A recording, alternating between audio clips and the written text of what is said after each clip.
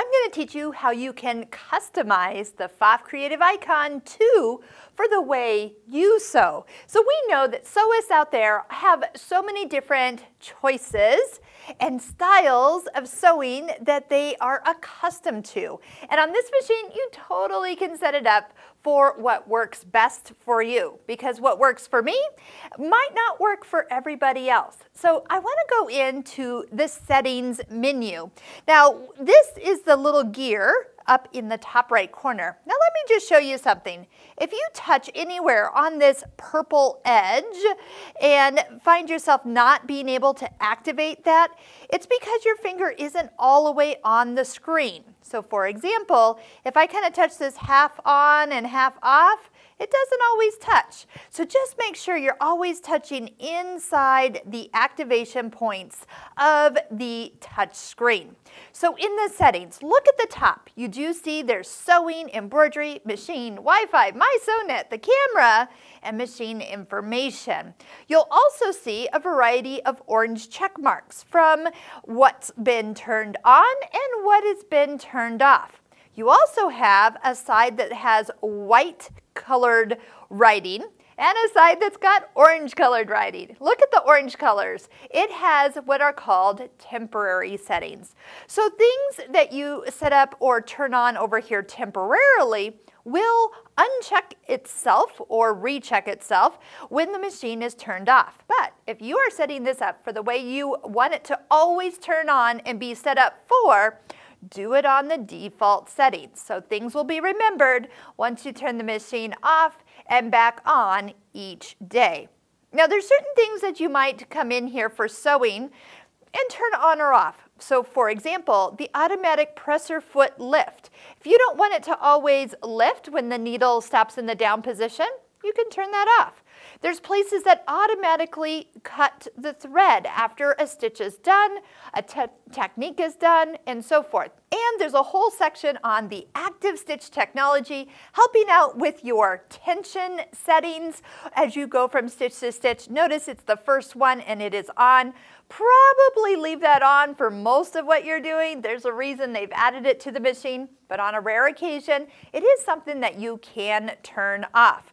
Free motion quilting options. Have the machine know which foot you are using, such as the ruler foot or the spring foot or the dynamic spring foot. You can set this and then tell the machine that that is the exact foot you're using and then it knows how to adjust the up and down part of the foot system. I do like to that when I go into ruler work, I'll have the ability to adjust this as necessary, up or down, kind of based on the rulers that I'm working on. Remember, if it's temporary, come over here and turn it on on the temporary side.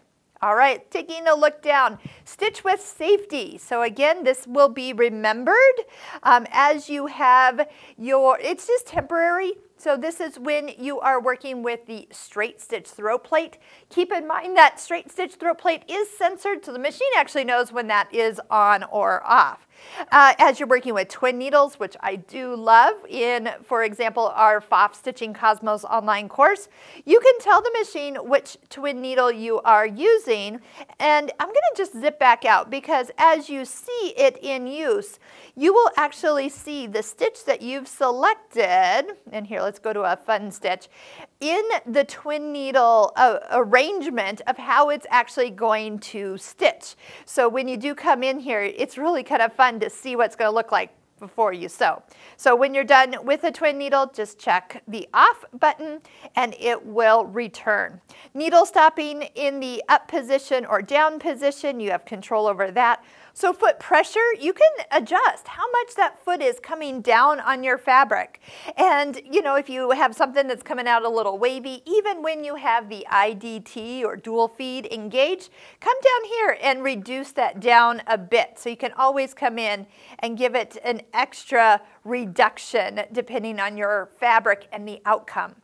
Options for feed teeth. Now, if you have auto selected, which is the default setting, you will find that when you go into free motion, you go to sew a button on, or you go to the embroidery side of this machine, the feed dogs will automatically lower. So that's great.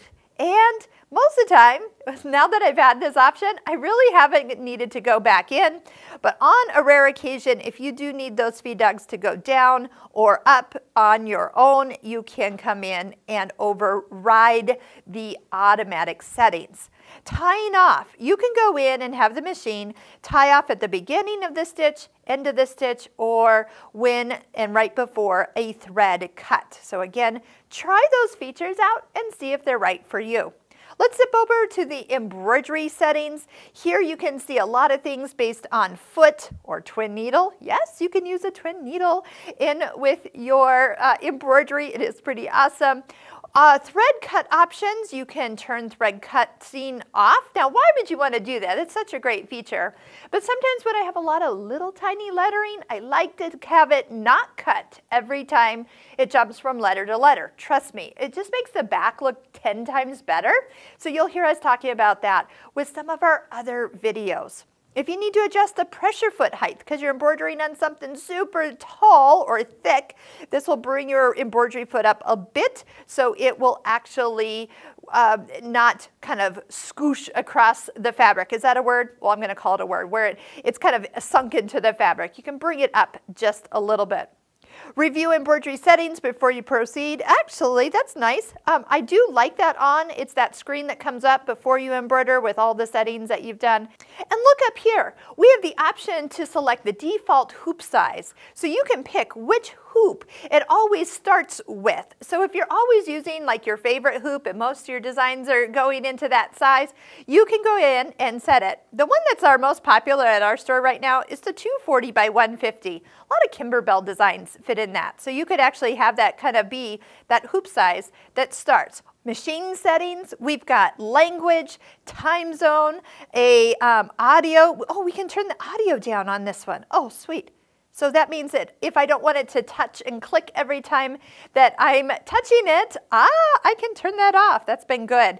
Um, you can name your machine. You can have a lock screen. You can change it from millimeters to inches. Now, that's really not a great idea. You'll, you can.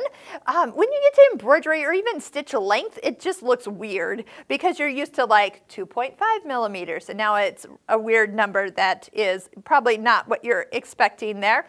Um, I am going to turn this back on so it is what I'm used to here, uh, but you can come in and change the color themes. That's why my screen is a little lighter than yours possibly. Um, Canvas workspace customization here, we, I will need to check that. Looks like something new. Wi-Fi settings. What's your Wi-Fi in your home? You can select it. The MySewNet, you can sign in and out of here. The camera, we can calibrate the camera at this point. And then also presser foot recognition. I'm going to go ahead and turn that on since I notice it's not on. And then that way if the foot is not correctly on or not being identified, go ahead and come in and check this box. Machine information, this is your information like your serial number and which is your current firmware if you need to. And I think I'm going to do this just to make sure I'm all the way back to kind of normal settings. You can clear all and you can kind of restore the machine back to its factory settings. So when you're done, when you have your features turned on that you like, I bet you're to love sitting down at this machine because it's all set up for the way you like to sew every time you turn it on.